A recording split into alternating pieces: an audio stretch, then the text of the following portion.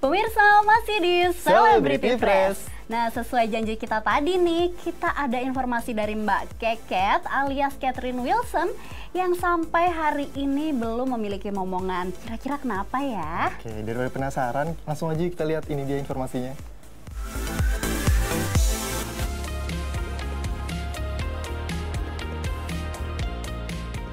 Besti kali ini datang dari Mbak Keket alias Catherine Wilson. Udah pada nggak asing lah ya sama pemain film serta model satu ini.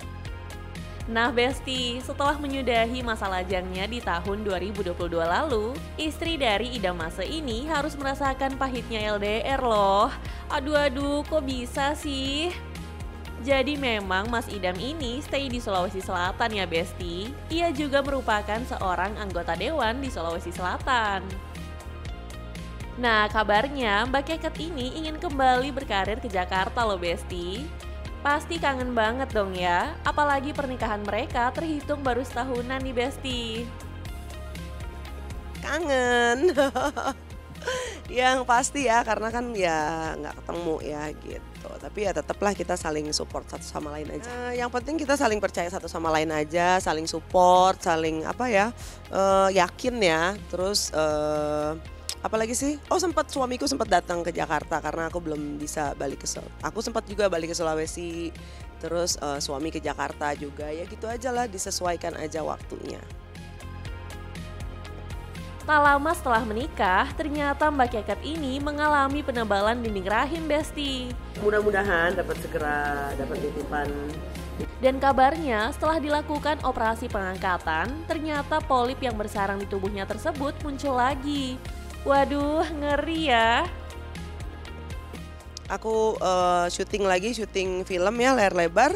Itu sempat yang bermasalah lagi, pendarahan lagi tuh selama sebulan. Nah, aku udah cek lagi kan, katanya ada polip, gejala polip gitu. Jadi kan aku juga bingung kok tidak terindeksi waktu dari awalnya gitu. Mungkin kata dokternya pas lagi awalnya itu tidak terdeteksi karena belum ada gitu. Dan setelah itu kira-kira 2-3 bulan nah itu ada lagi aku juga bingung kok udah dioperasi udah dikuret kok masih pendarahan gitu Mungkin karena itu ya Besti, alasan kenapa hingga saat ini Mbak Keket dan suami belum dikaruniai seorang anak.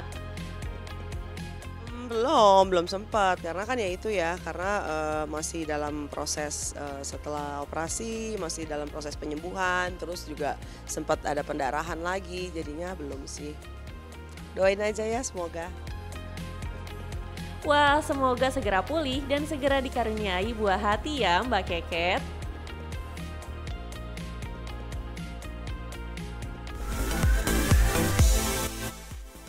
Oh, jadi karena emang karena adanya polip ya Zidan, karena ada polip tersebut, jadi kemungkinan besar Mbak Keket ini agak susah untuk mendapatkan momongan. Iya benar, dan juga nih untuk netizen jangan terlalu julid. Bener banget nih. Netizen ini kebiasaan ya, apa-apa dijulitin nih. Nah pemirsa selanjutnya ada uh, cerita keseruan Haiko dan Pangeran Lantang saat syuting film. Nah kabarnya juga Haiko juga belajar dialek NTT nih. Dan Waduh. juga sampai mengalami breakout parah. Waduh, kalau Haiko mah mau breakout kayak apa juga pasti cantik Tetap ya. cantik ya, Bener udah dari banget. sananya lah. Udah dari sananya emang. Nanya Haiko bikin makeup tutorial sehari-hari dong. Haiko bikin makeup tutorial sehari-hari dong pas syuting bla bla bla. Besti, udah pada kenal belum nih dengan aktris cantik satu ini?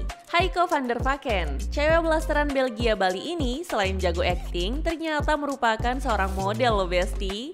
Bahkan, kini ia juga mencoba kemampuannya di bidang tarik suara. Mantul banget ya! Nah, kali ini ia kembali dipercaya untuk berperan di sebuah film layar lebar loh Besti. Tak sendiri, di proyek kali ini ia dipasangkan dengan Pangeran Lantang. Syuting tersebut berlokasi di Labuan Bajo, Nusa Tenggara Timur. Wah, kebayang dong Besti, pasti indah banget ya pemandangannya. Nah, dalam proses syuting tersebut, Haiko ternyata sedikit mengalami kesulitan nih Besti dalam berbahasa. Hal tersebut karena dialeknya yang terbilang susah. Ia pun memutuskan untuk belajar langsung dengan masyarakat asli sana nih Besti.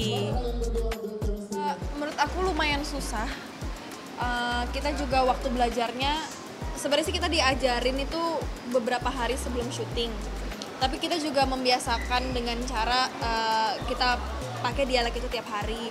Kita juga observasi uh, kan di situ kita lihat tuh dari orang-orang yang tinggal sana orang-orang Bajo. Cara mereka ngomong oh kalau kata ini mereka cara bilangnya ini gini gini gini. Jadi kita belajar dari situ juga. Tahu nggak sih Besti, ternyata acting coach mereka juga belum terlalu lancar nih bahasa NTT dan kadang kelupaan pakai bahasa Batak. Ya ampun, kocak banget ya. Kan Zidan, benar banget kan walaupun dibilang breakout parah juga tetap cantik. Tetap cantik, cantik pokoknya. dan pangeran lantangnya juga cakep ya. nah tapi nggak cuma itu aja nih, pemandangannya juga indah banget di sana. Pastinya di NTT gitu Zidan. Siapa sih nggak pengen ke sana? Aduh, udah pasti pengen banget nih ke sana. Oke pemirsa, informasi yang tadi juga menjadi penutup perjumpaan kita kali ini. Jadi jangan lupa saksikan terus Celebrity Fresh setiap Sabtu dan juga Minggu pukul 17.30 pastinya hanya di Nusantara TV. Dan untuk pemirsa semua yang hari ini ketinggalan informasi-informasi seputar selebriti, jangan lupa saksikan di YouTube-nya Nusantara TV nih. Nah kalau gitu kita pamit undur diri, sampai jumpa. Bye.